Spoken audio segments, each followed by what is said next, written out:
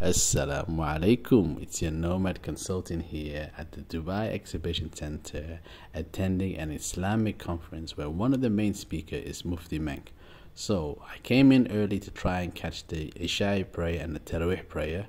And as you can see, these are the main speaker. It's being hosted by the Al Manar Islamic Center.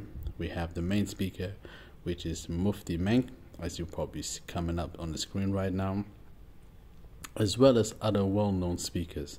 So I'll let you check them out. Here we have, there you go.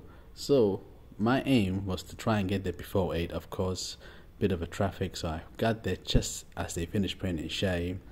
Prayed Tarawih behind Mufti Menk, which was actually a good experience. He took breaks in between just to make sure he explained the different um, the surah he was actually praying. It was really packed. He was, he was struggling to get in.